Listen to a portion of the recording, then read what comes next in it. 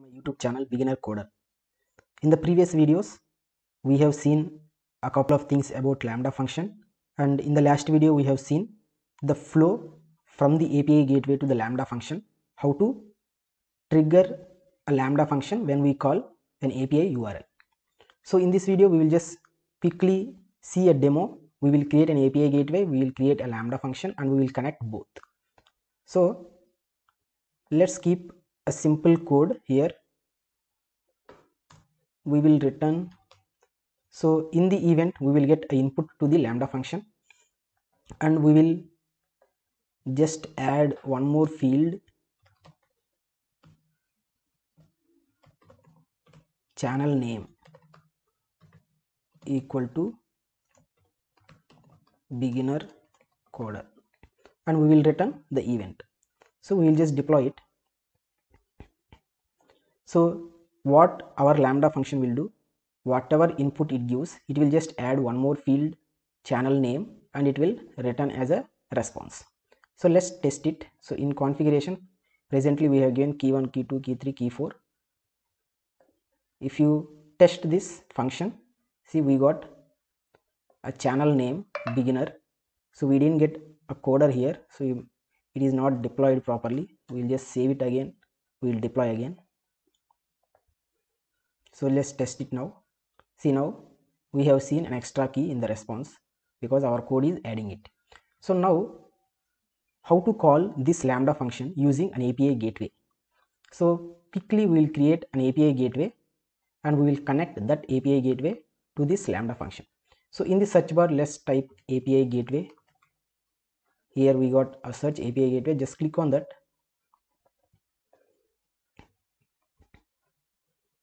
so presently there are no apis created. We will just create one. So it's a http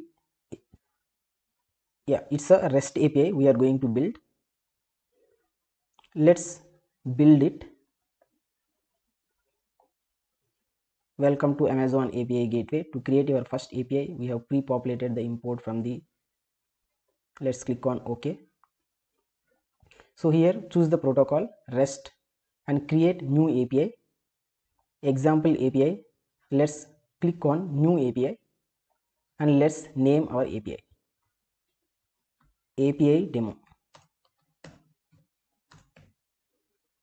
And just click create API so now let's go to the list of APIs just click on APIs here. So here we have created API demo the name and inside that we need to create a resources now so resources means url will have certain uh, names like like anything. Suppose if you if you want any students list in the url you might pass student slash and student id so like that we need to create a proper url before deploying it. So first let's create a resource name. Just create a resource. Just name api gateway any resource name just create resource. And if you want to create one more under this again just click on create resource. Just name lambda. Just create resource. And under this we will create api method. So again go to actions create method. We can select what type of method we want to create. We will just create a post method and just click on tick mark. So now whoever calls this post method we need to call our lambda function. So here we have different types. So integration type we need to select a lambda function. Then we need to give the lambda function name which function we want to connect. Just type demo. So it will suggest all the lambda functions available with this dem starting with name so we have one lambda function. So it is showing. Just click on that and click on save. So you are about to give api gateway permission to invoke your lambda function. Just click on ok. So now it got saved. And what we just need to do is just deploy it. Now we have created a resource and we have created a post method and we have connected this post method to our lambda function and so now if you go to the lambda function and if you see if you see here add trigger. We are not seeing any triggers. If you refresh this we will see one trigger is added. See? Api gateway. This function is linked to this api gateway. Before there was no api gateway because we didn't link this function. So now we need to deploy this. Just again go to the actions. Again deploy api and deployment stage so just create a new stage. Let's say it is qa stage description you can give deployment description you can give it is optional. Just click on deploy. So now this is the base url to call our function. So how to call? Let's open a postman.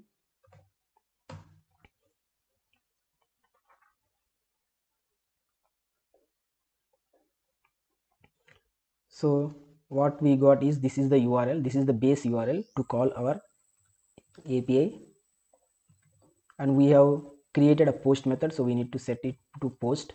Then we need to give the actual resources. Api gateway slash lambda. Otherwise it won't work. And we need to pass some input.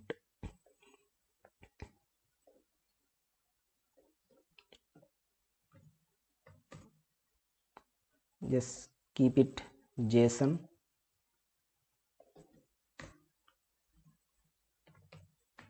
key 1 val 1 for now just pass one thing. And here we need to give api gateway slash lambda. Because we have created these two resources then under this we have created a post method. So let's call this. We need to get a response with an extra channel name so just see the output. So if you see we got a desired response. Now it is calling api gateway is calling internally the lambda function. We have written a code to add a channel name inside a lambda function. So we are getting a desired response. Suppose if you change the method here it won't call. We will get some error. See here missing authentication token. It means something wrong with our call because we are calling in a wrong method. If you use post we will get a desired response. So this is a simple demo to call our lambda function using an api gateway. So in the coming videos we have we will learn more about api gateway and lambda function. And there are many configurations in api gateway. And there are many versions of lambda function and many stages of lambda function. And how to connect particular API to particular stage either QA suppose if you see here aliases so this is dev QA UAT suppose if you want to point API gateway to UAT how to do that? So we will see in the next videos. So please like share and subscribe my channel. Please also share to your friends. Thank you for watching